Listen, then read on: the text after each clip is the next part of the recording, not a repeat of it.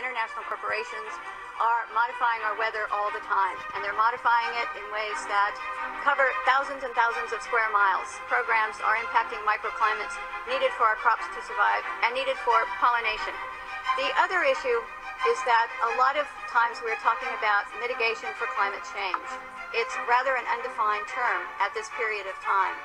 And so what happens is that many times we're talking about artificially putting chemicals like sulfur or particulates into the atmosphere in what they call geoengineering schemes to reduce, supposedly, global warming. And if you take and you put up into our skies chemicals to reduce the amount of sunlight reaching the earth, you are going to begin to reduce crop production. Without the process of photosynthesis, whereby plants from direct sunlight gain the energy to grow, to produce crops, we are going to find ourselves, if we mitigate in that direction, impacting the crop production not only here in the United States, but worldwide. What you're seeing now, a lot of times many scientists know, especially at NASA and in other areas, that the skies that we're seeing are not normal cloud formations. These are man-made. In California, the State Department of Health drinking water tests were examined between 1970 and this year, and we found unusual spiking in barium, aluminum, strontium, manganese, and all of these spiked at the same time in various drinking water supplies across the state of California and also in Arizona. So what's happening with these atmospheric tests is that aluminum, as one example, gets into the root systems of our trees, and it looks like the trees are dying of drought, but they're not. Many of our forests in Redding, California and other areas are dying from warmer temperatures produced by persistent jet contrails, also impacting tree health and crop health. They know from scientific studies back in the 1970s that they deplete beneficial ozone in the atmosphere by releasing nitric acid. This next story is so unbelievable, we didn't think it could possibly be true. But after receiving thousands of records and declassified reports from the Army, it's confirmed that during the Cold War, the United States military conducted secret tests on unsuspecting people in the city of St. Louis. Lisa Martino Taylor's life work has been to uncover details of the Army's ultra secret military experiments carried out in St. Louis and other cities during the 1950s and 60s. This study was secretive for a reason.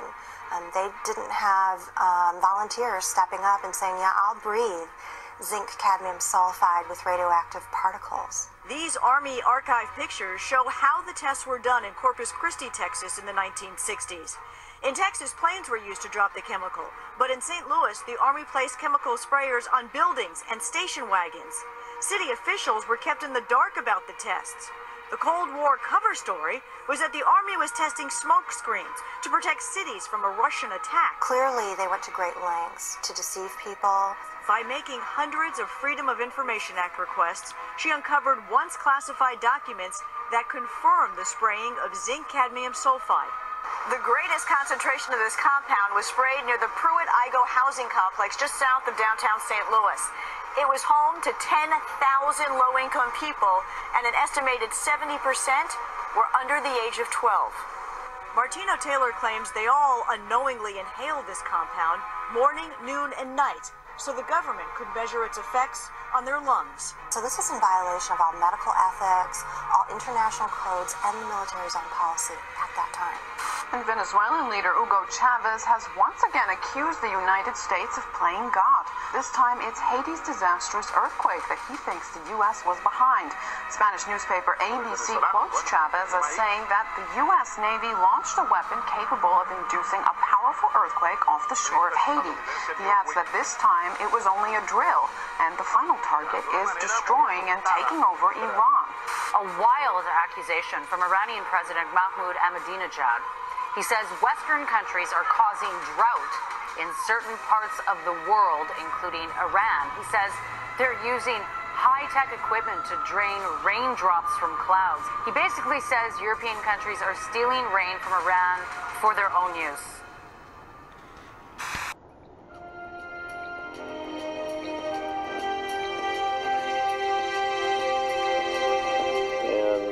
Better part of 30 years, I worked in the aerospace and defense industry. Had a secret clearance twice during my career. Some of the technology that I saw or uh, participated in the creation of tends to play a role in um, some of the, the things that are used to control the weather. The very distribution process is being employed in the aerosol campaign, manipulating the weather crops, um, you know, taking over the the, uh, the food production or controlling the food production. The military applications. The process evolved when they realized in the in the 1800s that you can put things into the environment that will influence the uptake of moisture and where it drops out of the atmosphere again. The metal particulates, all of those can be used and, and leveraged to create weather events that are several standard deviations or outside what would be typically normal. When the geoengineering really got underway with the Russians in the mid 70s, we ended up with snow in Miami. We ended up you know, with frost deep into Mexico.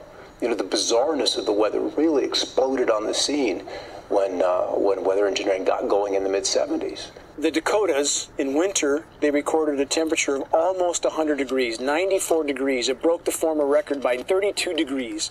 There's very profound things that people don't notice. Blue skies almost never. We almost never have dew on the ground. That's a known consequence of geoengineering if they did it, which they appear to be. It sucks the moisture out of the atmosphere, it doesn't descend, doesn't form dew we have massive temperature disruptions. People are starting to wonder why is it 80 degrees one day and then snowing the next day at 50 degrees or 45 degrees and then back up to 80 the day after that. When you push and pull the climate with these these manipulation programs of which there's a mountain of data to corroborate their existence, then then you start to have massive fluctuations in, the system.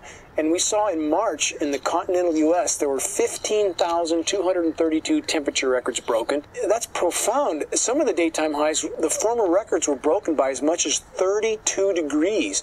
Don't people wonder what in the world is going on?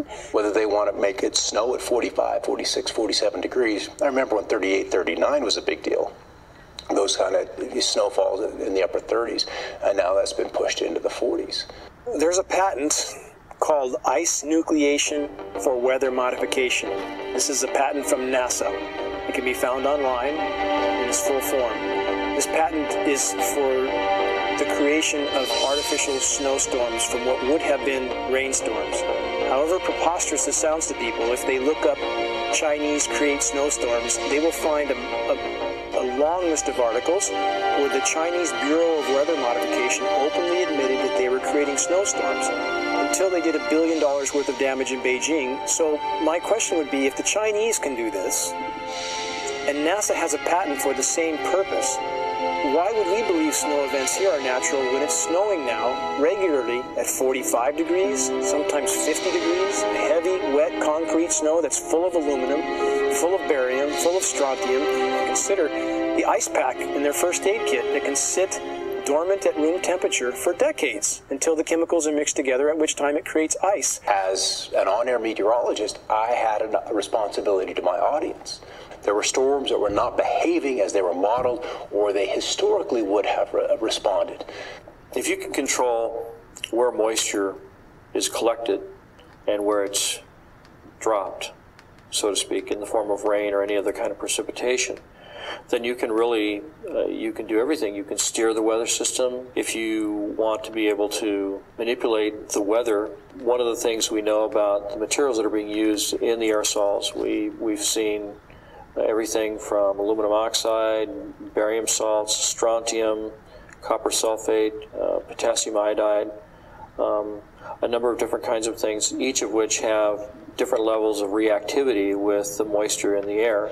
Some, uh, like aluminum oxide, tends to sequester the moisture. The aluminum oxide nanoparticles, which are microscopically fine and uniform in size, uh, attract the humidity, the moisture.